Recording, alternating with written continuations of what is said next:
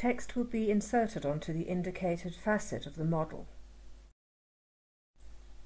Use the Design Director to control the display of the following layers.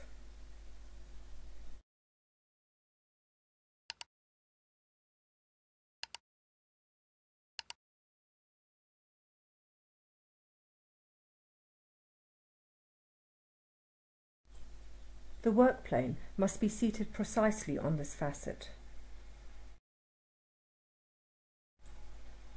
Work plane by three points will be used to define the XY orientation of the axes.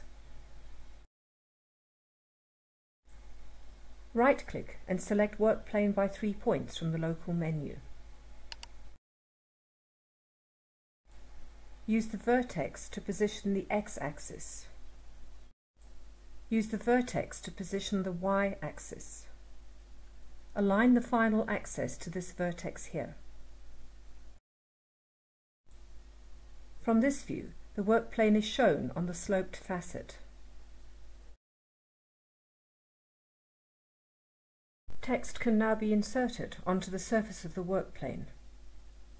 Right-click onto the Text tool and apply the following settings.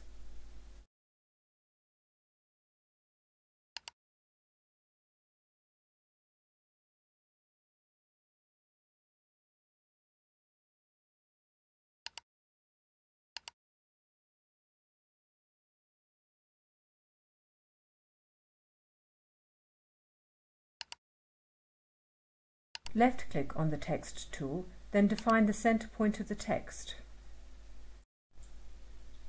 Input the text, then use the Select tool to manipulate the position or the size of the text.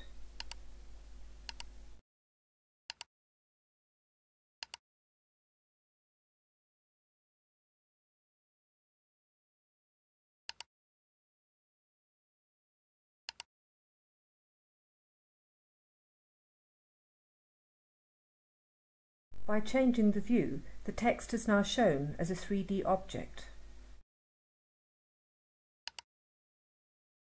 The text can now be subtracted from the model.